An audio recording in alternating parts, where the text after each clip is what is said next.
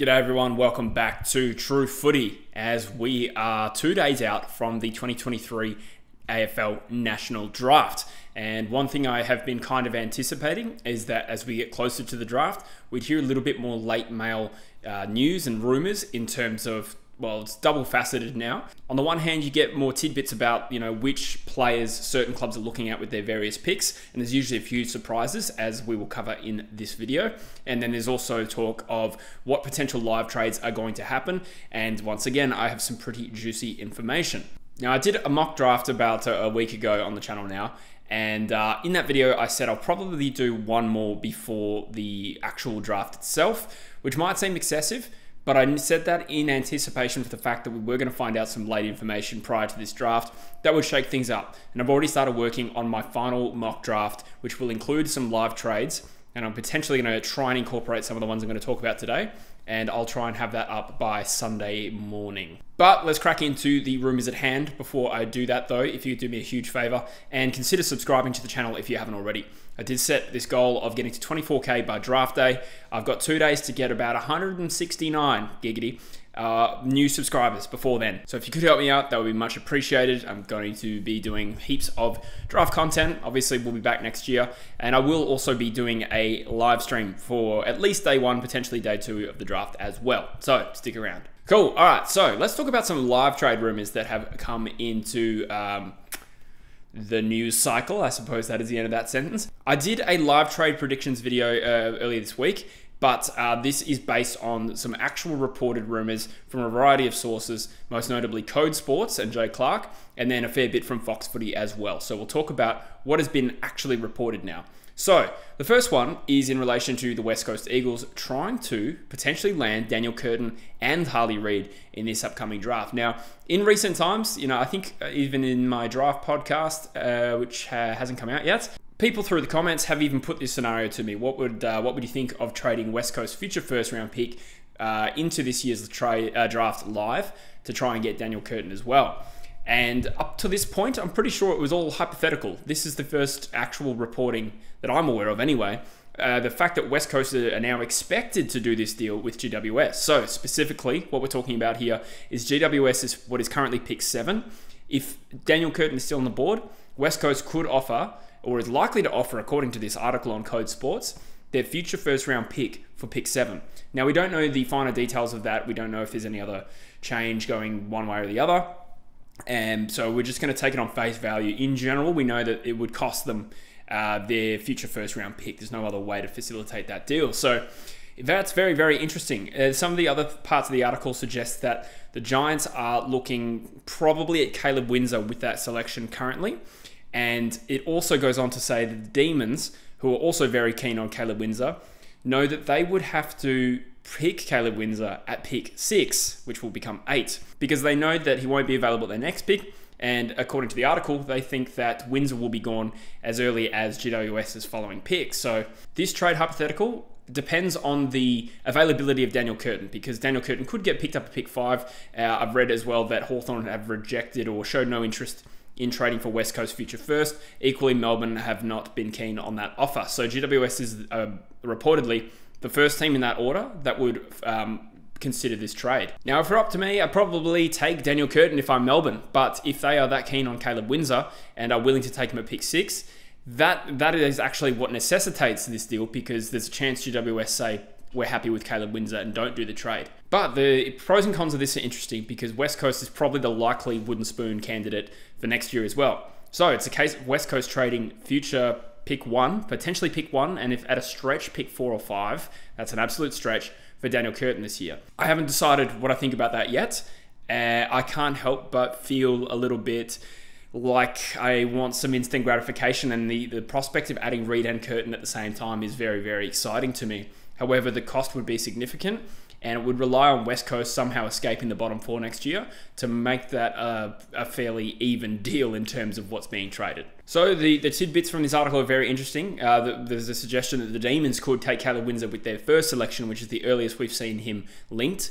Uh, and then if not, then most likely the Giants at the following pick. Of course, Daniel Curtin could go at pick five to Hawthorn, uh, which would shake things up a little bit because then Nick Watson would be available to the Bulldogs. Do they go him or Caleb, uh, Riley Sanders?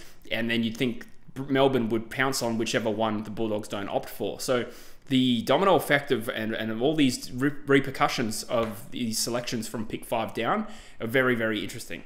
As a West Coast fan, you know, if there is a scenario where Daniel Curtin gets traded to West Coast for a future first round pick, you know, I'd love to think that maybe it's pick one next year or future first next year for seven and 16, but 23 goes back to GWS. That's that's the more palatable option for me, and I think that alleviates some of the risk if we're also upgrading 23 to 16 but there's no suggestion that's what's being done. And at the end of the day, West Coast probably, even though on face value this deal would probably be slanted in GWS's favour, you feel like it's West Coast bringing the urgency, and GWS in theory have the leverage here. So I wouldn't be surprised if uh, if it's just a straight swap for pick seven and West Coast with Curtin and Reid, as exciting as that would be, would kind of put themselves in the position of really needing to rise up the ladder quickly to justify that trade. In other news, Essendon are another team uh, in numerous places, most notably Fox Footy, where it's been reported that they're considering a trade down from their current selection.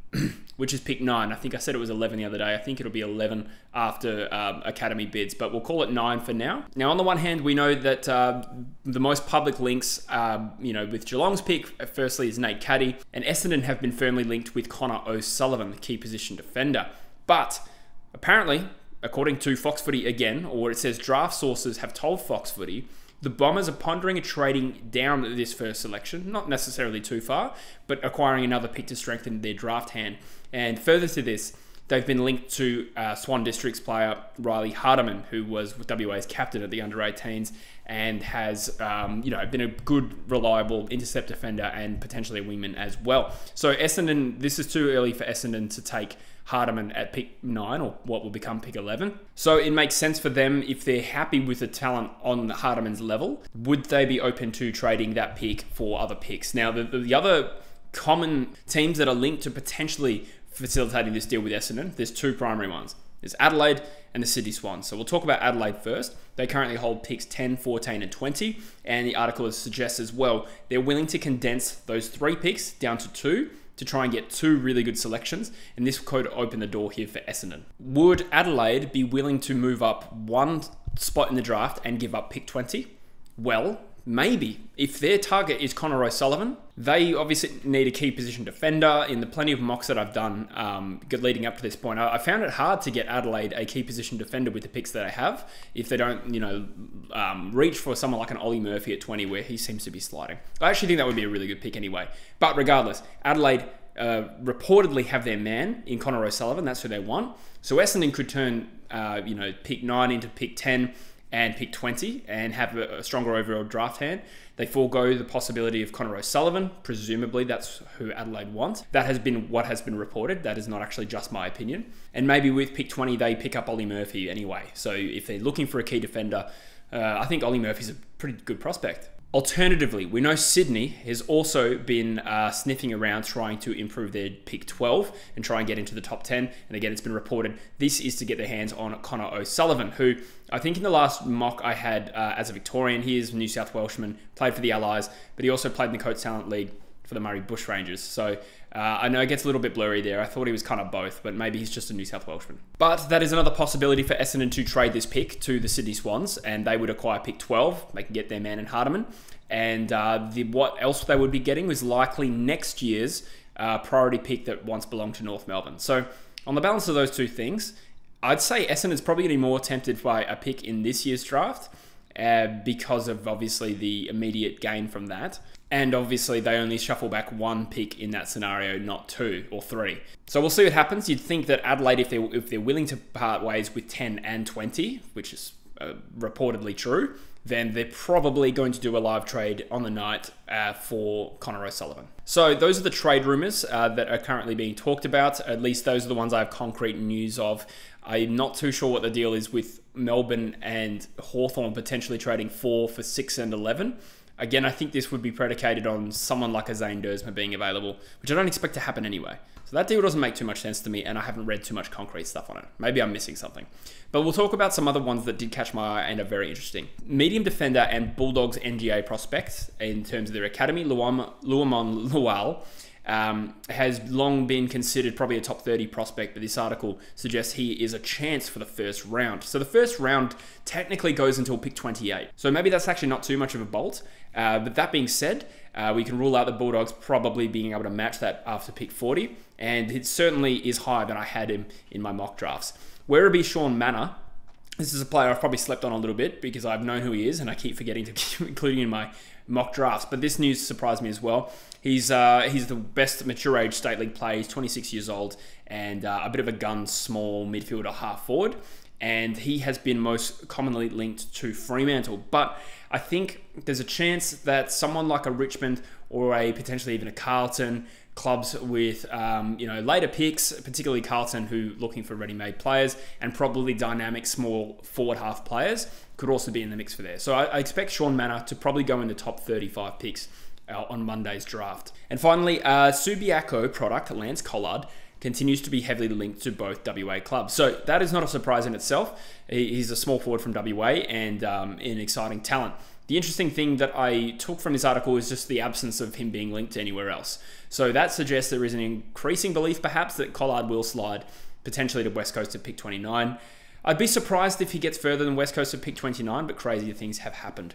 Oh, and finally, the, there is a bit of trade news in a way, uh, and that is Brisbane, as reported by Cal Twomey, have pretty much agreed in an in principle deal with Gold Coast to trade for pick 24 live on the night. So Gold Coast looking to maximise points. You'd think Brisbane give up their first two picks in that scenario, but upgrade that to 24. So that's another one I'll have to include in my mock draft, which I will be working on tomorrow. But anyway, guys, that is all I've got for you in terms of ongoing uh, trade news or draft news rather. And uh, I wouldn't be surprised if I wake up to new articles suggesting new rumors uh, that I'll have to take into account to my mock draft. And I'll try and do a video for you if there is anything juicy that comes up, which there probably will be. So for now, thank you for watching. Subscribe to the channel if you haven't already, and I'll see you in the next one. Cheers.